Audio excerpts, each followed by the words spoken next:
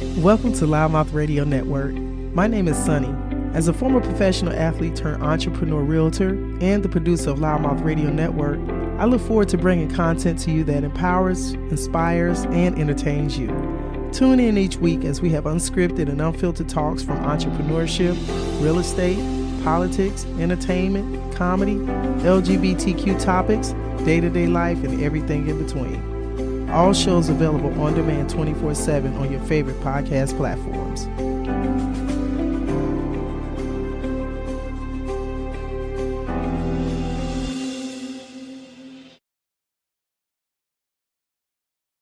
See you. Hey, pretty girl. Hello, hello. Okay. Sorry, I got my hands all over the place. Um, welcome. Good afternoon. It's Sunday, June 2nd.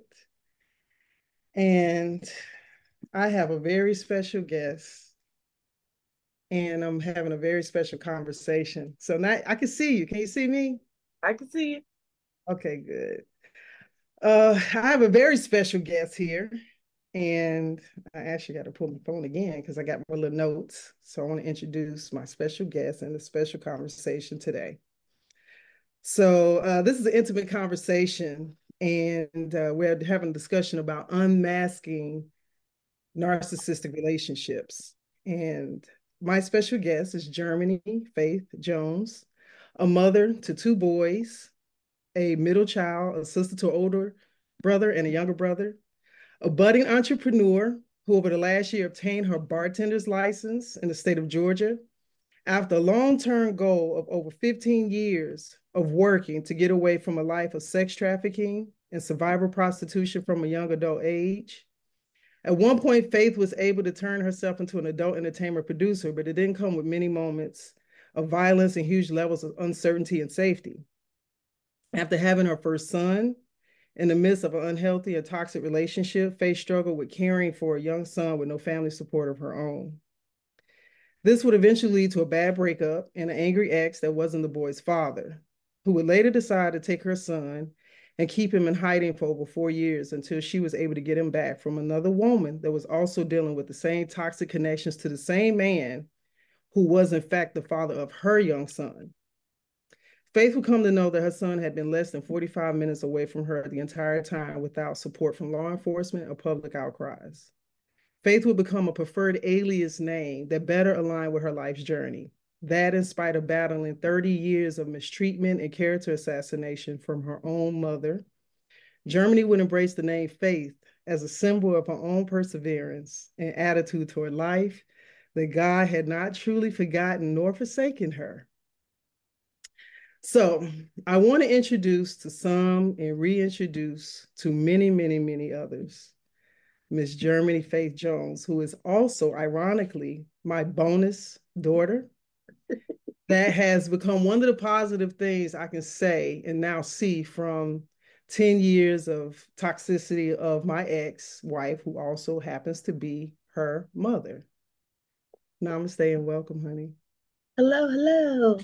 So I, I had to give that whole uh, dissertation. Uh, you oh, deserve that opportunity. which is why I said I'm introducing and reintroducing because um, if you see me looking away, it's just because I'm I'm doing my producer stuff as we're talking. Okay. And um, one of the things I think is so important here is that um, today, and I'm and I'm I may interactively call you Faith, I may say Germany, but Germany, Dominique Jones, I take your whole name. Germany is your God, your your birth name, and yes. God given name. How about that? Right, right. Okay. So I wanted to um, say that I may interactively go back and forth about um, saying both your names because I do actively use both those names with you. And that way I won't confuse anybody that's listening or watching. And I want to say, I want to start off this conversation and say that this is not a necessarily easy conversation it's not an easy topic. Um, but I think one thing that's incredible is that this moment to me reflectively shows me that there is a possibility of healing, of grace, forgiveness, acknowledgement of some of, of wrongdoing. Right. um, a moment of self accountability. And I just kind of wanted to say that to you publicly. And, and and I'm kind of I'm nervous. So if you see me kind of feeling jittery, you know this is this is this is not an easy moment. It's a, a well needed moment, but it's not an easy moment because right. we are examples of what healing can become. Right. Because our interaction and our relationship has always not been this at all. I'm, I'm I'm I'm saying all of these things first, and then I'm gonna let you have the floor because I wanted to publicly acknowledge the factor that, you know, for over the last 10 years, um, now 12 plus, right? Uh, you know, you were introduced to me uh, in a way in which was not the completeness of who you are. Right. And because of that misconstrued introduction, we've had a volatile interaction and relationship, right? right. And um, so I want to, you know, I've already expressed so much and gave an introduction of you, and I want to allow you to be able to speak beyond me saying those things. But I wanted to establish the floor first and just right. say thank you for, you know, being this transparent in this moment. Well, thank you. You are so welcome and, and, and so deserving. And, and, and as this conversation gets deeper, uh, people will understand why. Um, but what would you like to start at first? Um, it's so much. You already um gave the gist, gist of a lot of things. Um, um, yeah, like um, like you were um saying, um, at 18, um, I ended up finding myself being homeless out in Atlanta streets um, for like six months. Um, after my uncle kicked me out, I ended up, um, you know, doing hair on the streets just to survive and sleeping at people's houses and, you know, giving up my body just to do those things um, to survive. And I met um, a singing group on tour for doing hair. Um, I went to Indiana and was at a Black Expo. Um, this is probably like around 2005, some something like that. Um, I ended up going out there meeting a singing group from Miami, and one of the guys um, happened to be um, a pimp, and he was a very great friend of mine. I I didn't judge him for his you know his things, but I was just like you know I grew up in the church. I don't want to do, you know, those type of things, but I don't have a problem doing your hair. You're cool. You know what I mean? We talked over a while.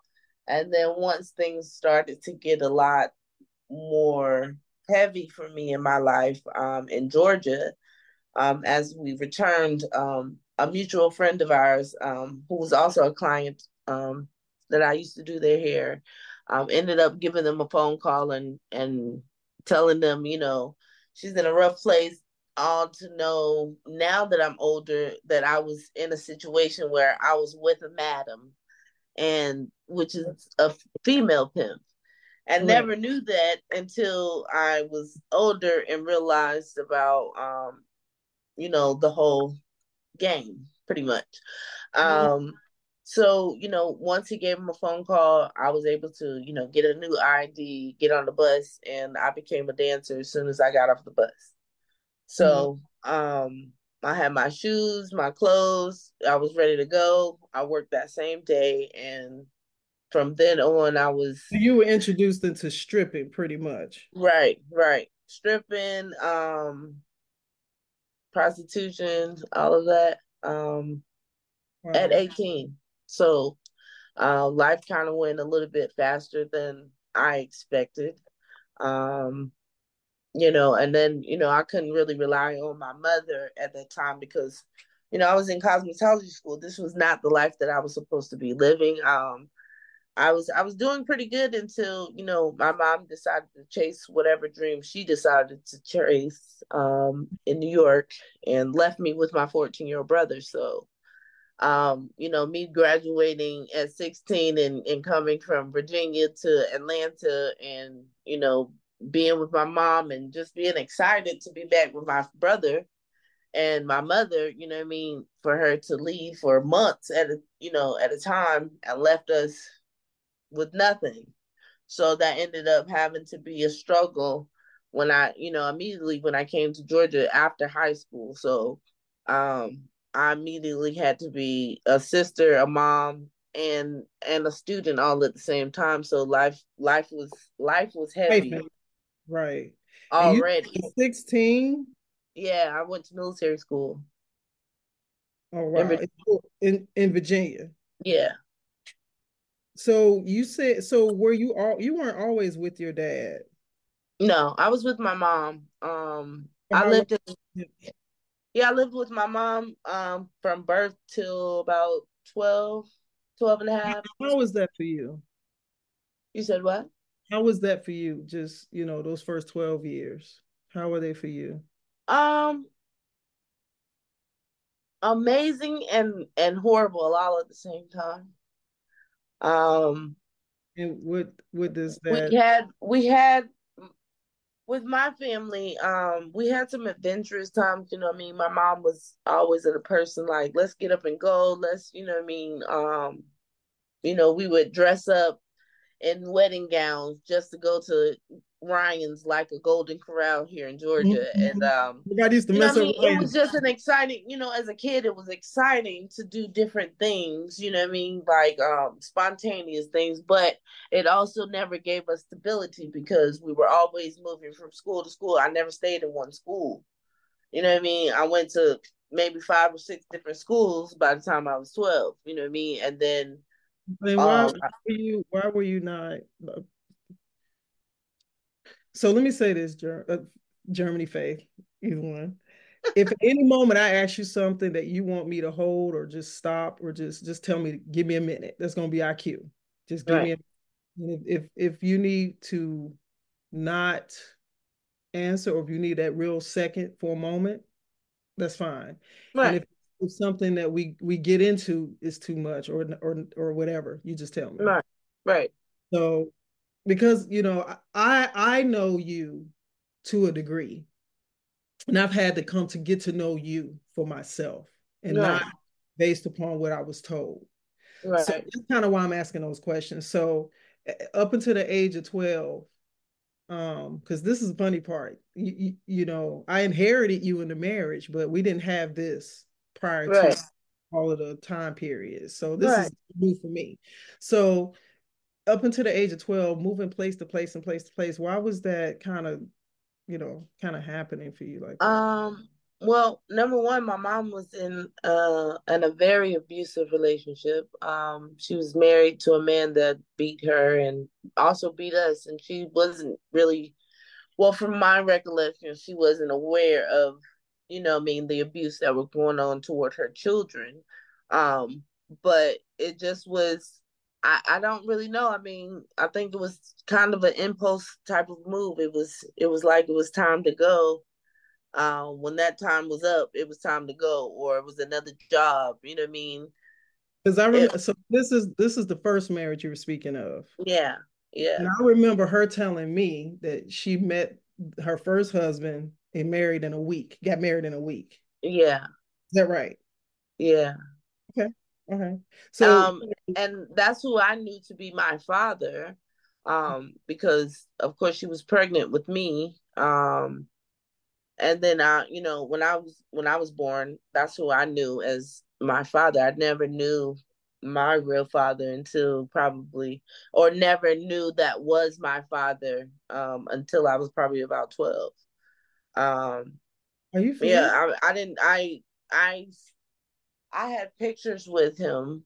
I didn't know that was my dad. I always thought he was my uncle.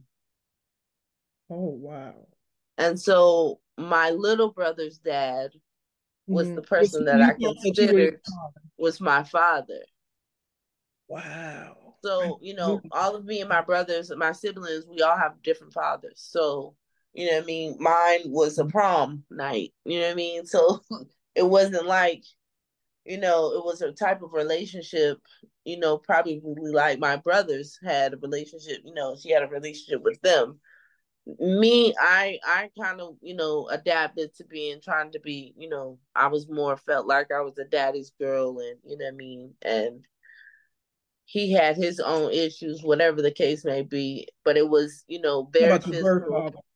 Well, I don't know. I didn't no, know your, your adopted my stepfather, right? Yes, stepfather. Okay, okay. And, um, Okay. You know, he had his issues. I don't know what that was. I mean, he, he really like I know it was a lot of insecurities as well because I mean he wasn't, you know, able to read as well and you know I mean, and certain certain things he wasn't able to do. So, you know, I guess that kind of, you know, turned turned a different way.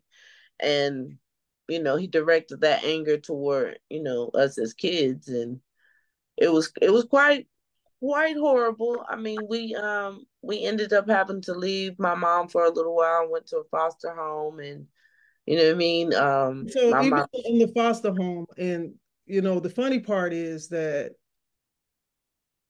I think for me, Faith, in in in this conversation, like I'm I'm I'm, I'm interrupting because I was told something differently.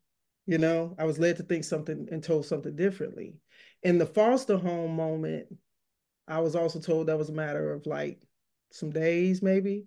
In reality, how long were you in foster care? I was in there for maybe a few months.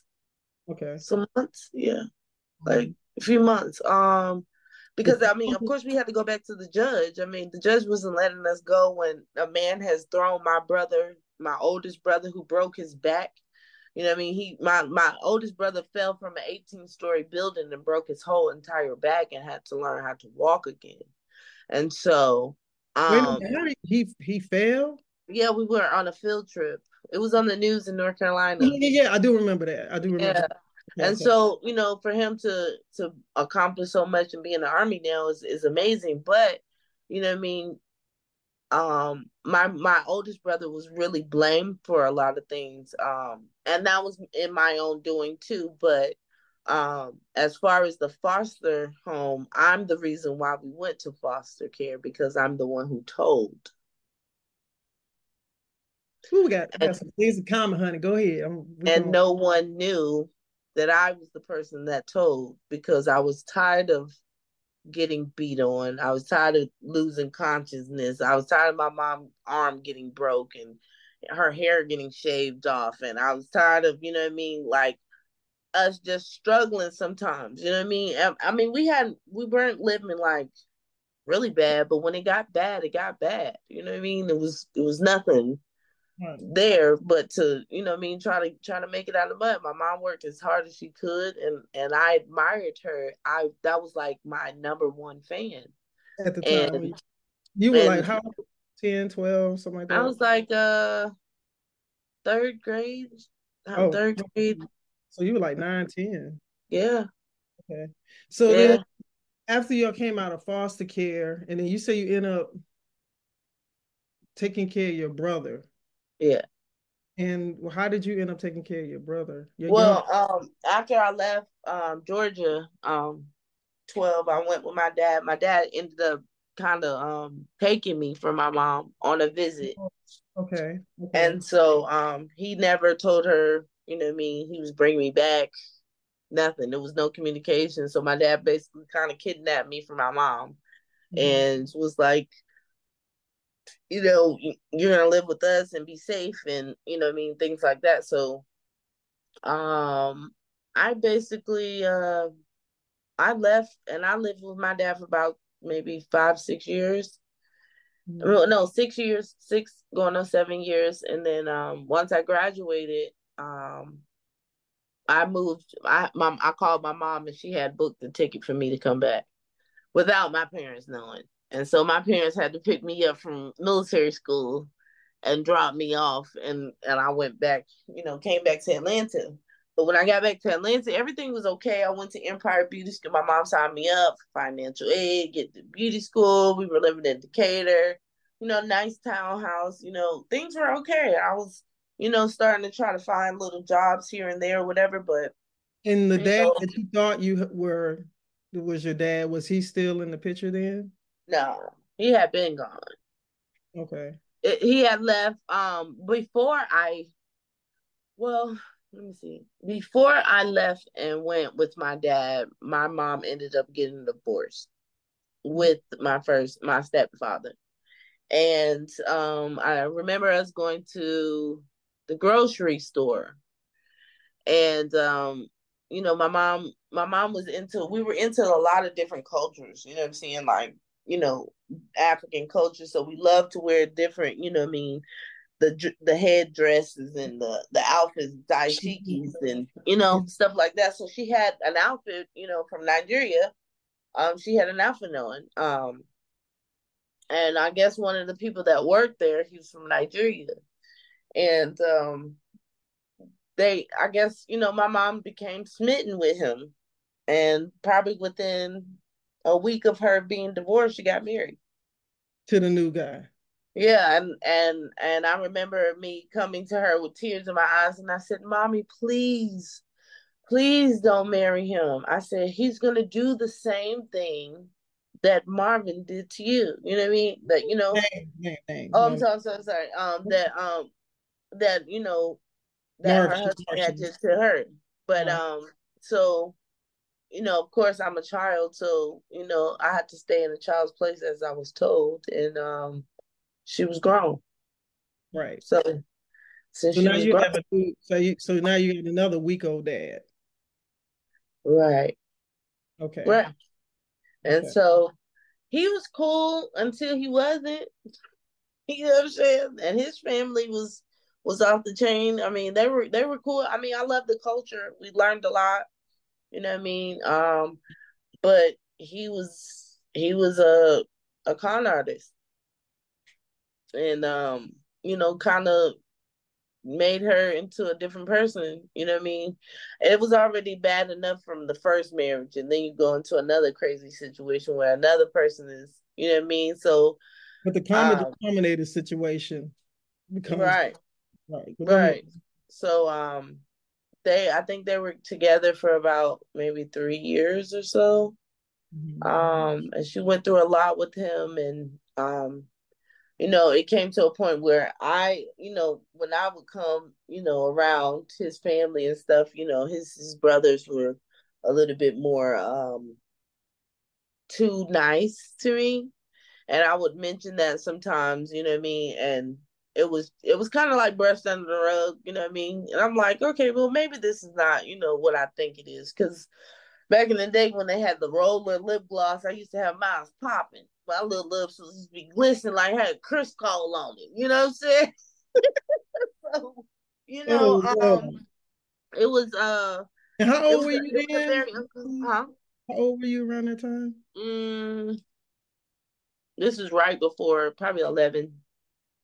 Okay. Eleven, about to turn 12 mm-hmm. So like I I was able, yeah, yeah, about eleven to twelve, and I would go and spend the night over my, you know, my cousins, of course, my new cousin's house, and we would all have to sleep in the bed with him, and you know what I mean. Um, when Ooh, his brother, my, the um, my mom's, my mom's husband's brother. Oh no. Yeah, so you know, it would just be uncomfortable little situations here and there, but you know, after a while, then my dad, of course, rescued me from that situation. I hated him for it because now he made me a, a, a only child, and so yeah. I went from. I was going to say, so your older brother and younger brother were left to stay with the mother, with your, my mom, with your mom in that situation. Yeah, yeah. How did how were they just? Uh, they dealt. You know, I I don't. Well, they don't really talk too much about it. I mean, they just know that, you know, that kind of destroyed my mom in a lot of ways, you know what I mean? And they had to go through every situation, every relationship that my mother went through, they definitely went through. Right. Um, and so they last so they lasted three years. You go to Virginia with your dad, and then you end up coming back. And you say I remember you mentioned something about you was with your brother and your mom went to New York and she you were left taking care of him and yeah. With maybe a, a month and a half worth of food. And and I had no job and I was going to school all the way in Gwinnett. So I had to take the train the bus you know what I mean? And then of course she was sent you know she'll pay bills every now and then. But the whole main thing if I if the rent is a thousand dollars and I have no job you know what I mean? And then now the food's gone because my little brother wants to eat everything and you know I mean? Now I'm making phone calls to her friends. Hey can I clean your house? Can I do your hair? You know what I mean? thirty dollars forty dollars anything you know what I mean? And that was pretty much a lot to have to deal with when all I'm trying to do is go to school and, and do hair like you wanted me to do. You know what I mean? My dad did hair as well, so it was like a family legacy, you know what I mean, for me to carry that on. But um there's a lot of different obstacles in that in the midst of that. Now, um, you know, afterwards, I my brothers, my brother, my oldest brother didn't know, my uncle didn't know that we were over there struggling the whole time and and you know, no mom. She ended up calling like she would call every now and then. She'd be like, "Hey, I'm doing good," and you know, how I'm in. She, how long was she gone at this point? Like months, like I'd say about six, seven, maybe eight months. We were gone. We were mm. gone for a long time. And then when she did come, she came and got him, and I ended up having to stay with my uncle. After he moved us in, you know, I mean, at first it was, you know, I would bring food by. And then all of a sudden they're like, well, what's going on? Like, we're not gonna keep bringing food to you. What's up? And I'm like, well, I don't know. My mom nigga never came back. By that time the phone was off. My lights was being cut off. And you know, me and my brother, you know, I'm still older. We still we still fight. We're still combative because he wants to be he's in alternative school he gets kicked out of alternative school for doing crazy stuff. So now I'm like, okay, I can't even. That was really his own reaction of the instability. Right. And so now I'm like, I can't even control him. What am I supposed to do? I got to go to school. I can't focus on school. Now I'm hungry. I go to school every day. Now I can't eat. People trying to feed me. You know what I mean? And this has happened more than one time that I've I've tried to complete school and you know and and messed up things have happened, but you know, um, yeah, I mean, she she didn't come back for a while, and then when she did come back, I was already thank God I had um she had um introduced me to one of her friends that was a celebrity hairstylist, and I was doing good for a while, and then that's when um you know stuff started started getting good and you know meeting celebrity clients you know what i mean and stuff like that. It was cool. And then my uncle decided he wanted to put me out because he thought i was having sex for money in his house. So that's how i ended up homeless for six months on the street. How old were you? 18 i was i had yeah i had turned 18 and where was your mom at that point? She had came and picked up her son and moved to Savannah. I guess to live in her car. Oh, the car time period. Yeah. Okay. Yeah. Yeah, well, she had her, you know, her her kitchen in the back seat, and you know. So, so you know, this is the part I got to go to this because, of course, here we are. Um, Germany, we got a lot in common, and I, I think the part that over the last year, I had to come to realize um like once you know how you end something you can't really see the whole picture? Mm-hmm. unfortunately these narcissistic type of things is that people will paint the picture they'll get you to believe certain things they'll they'll precondition you to think this tell you these different stories these narratives. So you already could I, I, I use the word conditioning. That's the best way to explain it so i personally have the same level of understanding of having a toxic relationship as far as having uh, difficulties with your with a you know mom and daughter right? right and then the family dynamic because the the bad part about it is the main person who you think is going to protect you when they start creating and spinning narratives about you and then you, as a child like you say child's supposed to be in a child place you're not supposed to speak up you're not supposed to say stuff you know in our house you weren't supposed to speak uh, you know, it was that thing. Don't what happens in my house, stay in my house type of right.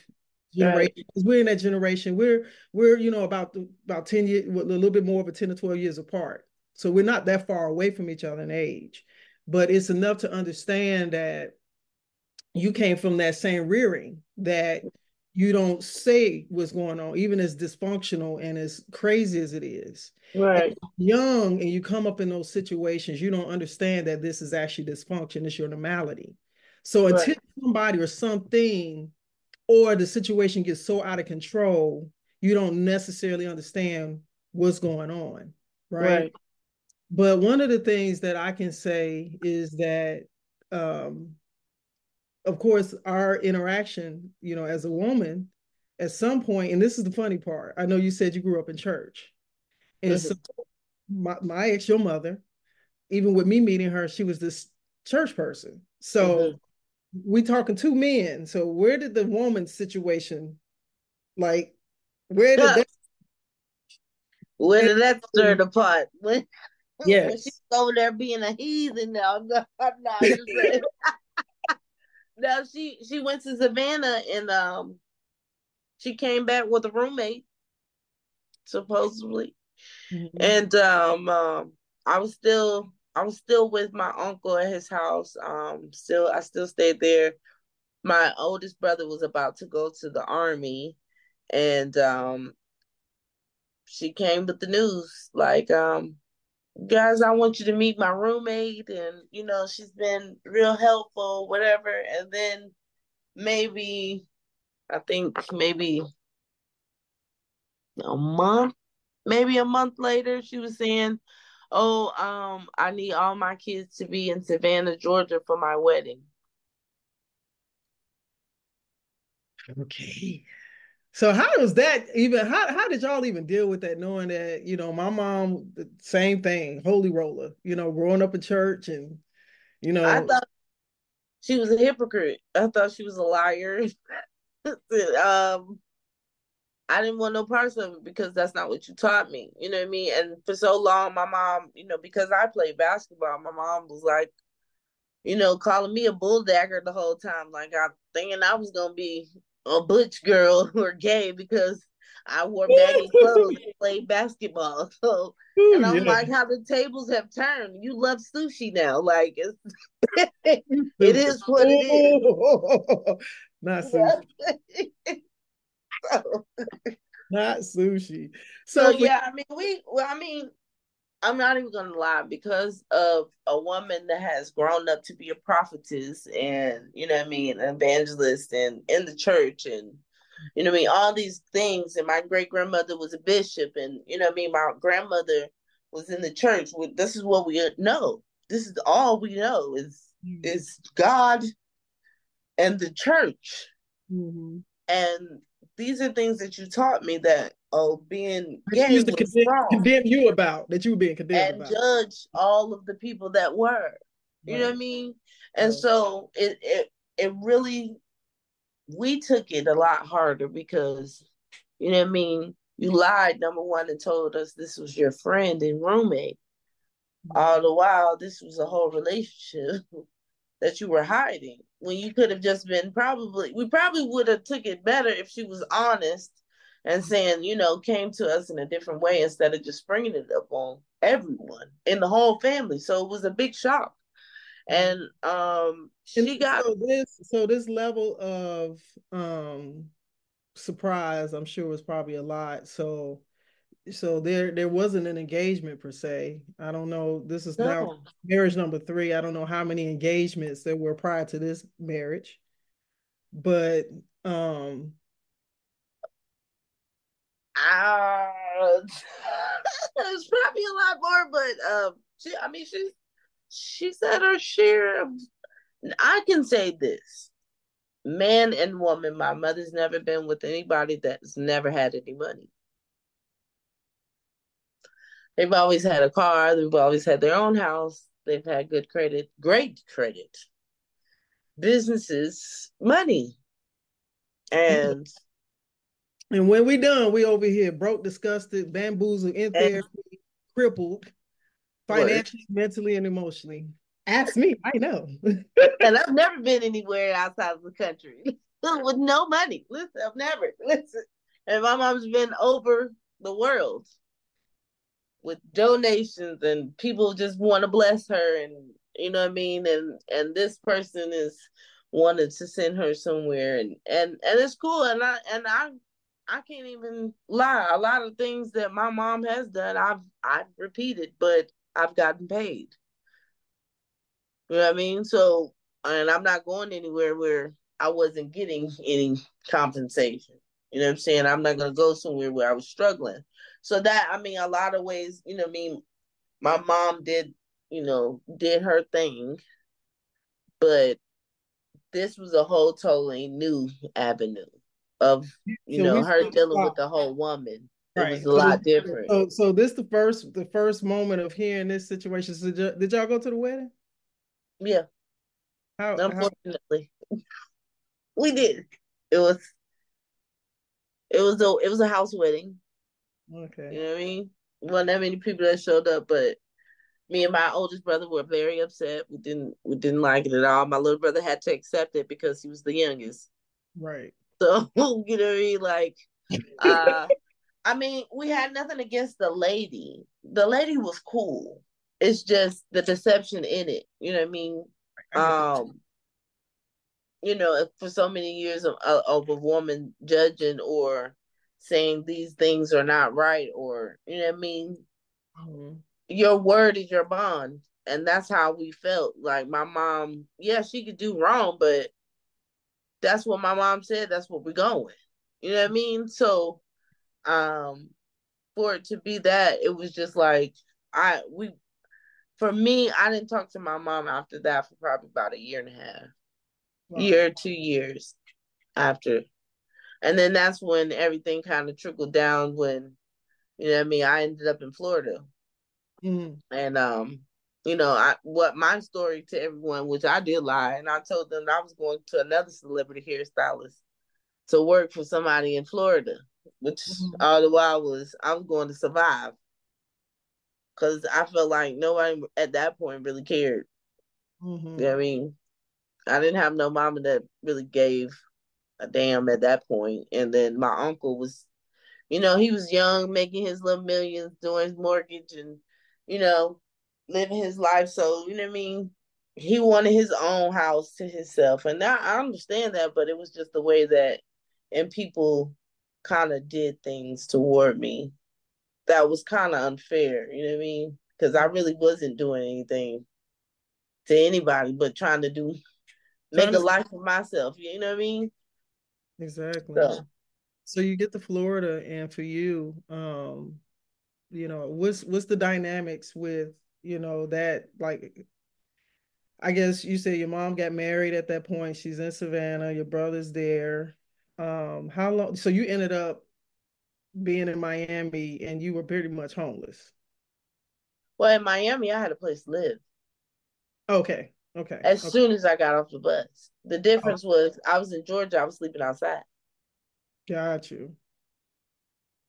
So, um, at train stations, at you know, on, on park benches, and you know, um, wherever I could, um, staying with my uncle's friend for a little bit. Then they got kicked out. Then I stayed with, um, you know, um, one of my classmates, um, for a little bit, and that didn't work. You know what I mean? They had family going on. So it was just a lot of bouncing around, still the same thing that I was doing when I was little. It right. was continuing to happen in my in my um almost adult life. Right. And so Miami was was a place to live, a place to work, and a place to have some food. Okay. I get it. I lived in Florida too. So I So, you know what I'm saying? Like at that point I didn't care pimp or not. Mm-hmm. I had I had security, I had a place, you know what I mean? And I was ready to do and and and be whatever anybody needed me to be at that point. Right. So yeah. So once you kind of end up being there, and I know that, you know, at the age factor you're talking about, you became a mom shortly some years or so within that realm or yeah, um after speeding up, speeding up, um, some years later, um, my I, well, I, I initially was told I would never get pregnant. Let's just put that there. Um, I was always told I would never have kids. I was not bearing. Doctor or something? Yeah, from a doctor. I was always told I would never have children. And so the fact that I even got pregnant more than once was a miracle to me in itself. Um, I ended up uh, having my first pregnancy at 21 and ended up um, the person that I was with um, ended up making me get an abortion at six months. And then maybe a year, you know, two years later, I ended up getting pregnant again by the same person and um, ended up not knowing. Um, both times I didn't know I was pregnant. Hmm. So um, when I left this this last time, um, I had happened to be three and a half months pregnant and didn't know the whole time. So I was just out there just doing whatever, you know, surviving and working and hustling and doing what I had to do and escaping from another person that was, you know, um, taking advantage. You know what I mean? Somebody I did love and cherish and, you know, tried to build something with who also was pimping me. um, it was just too much. Um, I was I was the bottom, and I was running pretty much the whole camp. And you know, when things started to get rough, um, I had to go, and I left millions of dollars in a, a name. I left cars. I left big house. I left everything because it was either my life or it was me staying in a miserable place and maybe it was I didn't even know I was pregnant. So that would have been another baby that would have been gone. You know what I mean? So yeah, 23, I ended up having my oldest son, four pounds, 11 ounces. And uh he was um my miracle baby fought hard just like his mom fought hard and um now he's 15 standing strong about to be in ninth grade so um you know i'm excited um and then I, you know, he's a miracle in itself. And yeah, he is. You know, and had it rough. Yeah, extremely. And it was amazing that you know I remember when I, I met you after I said I do. and at the time when I met you, you didn't have him. You didn't know where it was. And I remember um, we had gotten married and then within days your brother got married and we was at your brother's wedding and we all met and you told me what was going on your mom had told me about him not being with you and not knowing where he was right. but after our discussion i remember telling you i said you know we, we drove back together right. telling you that you're going to find him and if i if i don't do nothing else i'm going to help you find him right and uh you know like i mentioned in the beginning to to find that he was somewhere right in your in your in your grips. Um, crazy. Yeah.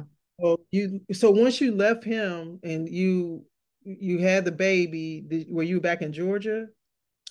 Um, I actually moved with my mother in Chicago when I got pregnant.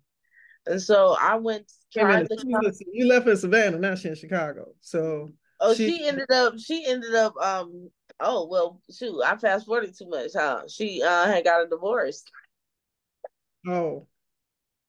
But she had got a divorce from that lady. Um and ended up um by the time I was 23, she was with another young woman um who lived in Chicago, um, ex police officer. And um I reconnected with my mom it seemed like every time I got pregnant, my mom knew.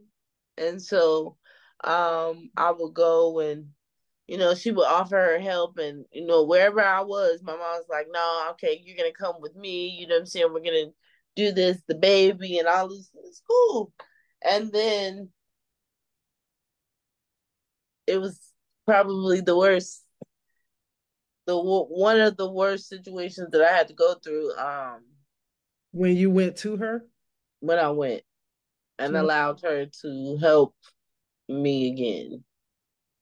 Yeah. It was it was it was a lot. It was difficult. I mean, it was good to get in school, but to go to school and not be able to eat, you know what I mean, and you're pregnant mm-hmm. or you know, um just the relationship was just it was it was existent, but it was fake. And With, and I hadn't been around my mother in so long, you know. Mm-hmm. It was it was like, you know what I mean, like a show, still kind of the same round of how I was when I was a kid when we're getting beat up at home and then we go to church and everything's fine. Baby, so, ooh, girl, stop. Let me tell you something, Jermaine. You don't hit a nerve, honey, because it's so funny. I'm having this conversation, and um, literally that exact type of sentiment, my same experience. You know, for me, um, my mother and I have had toxicity.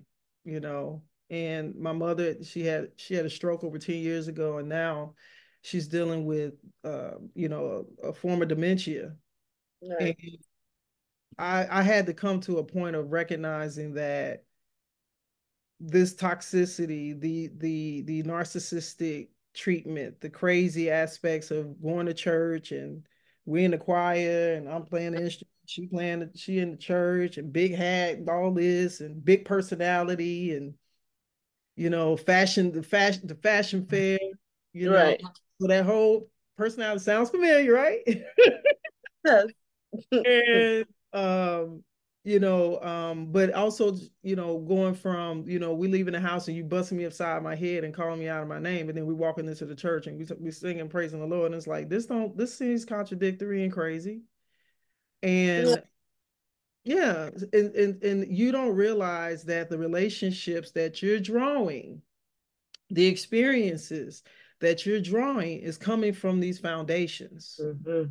of where your your your beginnings in in the areas of where your development your developmental a friend of mine says your developmental ages are extreme that that time period between like 7 to 12 years old and that imprint is a lot of what possibly can be what the rest of your life can look like you know because of the influential aspects of your mm-hmm. life and so when you say that, it's like, yeah, it's it's like that experience. Um, and it's ironic, is is is is precisely the element of how I recognize with your mom that I saw these aspects of my mom in in her and how she carried herself and the way she did certain things and how she handled, you know, which drew me to her. You right. Right. And you know, when you say, you know, uh, you reconvening and you guys having that time period and it was unhealthy and when you're pregnant that's one of the most important times um, that you know what you're dealing with is transcending to your baby right? And it it it, it affects you. Yeah. Affecting that baby too you know? So um so now you're in chicago you you've had the baby and you're now trying to you know it sounds like you're trying to rebuild yourself again. Yeah well i mean i ended up having to leave. I didn't actually get a chance to have the baby in chicago. Um i was actually my hometown. I was kicked out. I was kicked out. My things were thrown down a steps and i was told to get out. And um that was by my mother uh all because um i didn't want to impose on my friend. Um so so yeah um i was i was already had a bus ticket from my aunt in charlotte and um she was gracious enough to be the family that i really need um mm-hmm. and this was and on your, support on your mom or dad's side on my dad's side um my dad's stepmother i mean step stepmom's you know daughter so this mm-hmm. will be my dad's stepsister you know what I mean? Um, who I still consider my family, you know, I mean, my grandmother and my aunt, um, and they uh, welcomed me since I was a since since birth. You know what I mean? So I've known them to be my family um, so all my life. More stability from the dad side versus the mom side of things. Yeah, I mean, I did. Um, my dad's mother never liked me, so mm. um, she um only before she died, maybe. Um, I think about four, been here four years. So like four years, um, like up until four years ago, she didn't want to um have a relationship with me. Only on Facebook, she said. Oh no. um, she was okay with me having a Facebook relationship, um, but not a full um up close relationship only because she was upset with my grandfather for cheating on her with mm-hmm. the woman that I call my grandmother. So I've had a lot of re- rejection on on both sides. Um, you know, um, yeah, pretty much. Uh, my dad's side was a lot more stable. Mm-hmm. Um, but I wouldn't say uh, I had very much connections with a lot of people. So like I don't know a lot of my dad's family, but I know, you know what I mean? Like um my grandfather, I was I was able to to meet my grandfather and be around my grandfather from my my my my my aunt. You know what I mm-hmm. mean? Who's my dad's stepsister. You know what I'm saying? So um and my grandmother um those are the people that was able to allow me to be around different family members now my mom's family we all grew up like brothers and sisters my cousins you know what i mean they right, changed right, my right. diapers right and uh, my grandmother was like my best friend that was my ace boom comb me and her was a lot alike you know what i mean she was very blunt and mother's mother. and we were Mm-hmm. And you know, and she's she's very well missed. Um, I was fortunate to be around my great grandmother before she passed. You know, so I I've always grown up old, uh, old soul, mm-hmm. and so um, I just didn't have uh, very big connections with a lot of people. I wasn't allowed to, you know, be around certain people, so uh, I wasn't able to experience regular family type of things like a normal kid should have. You know what I mean? Right. So. I do.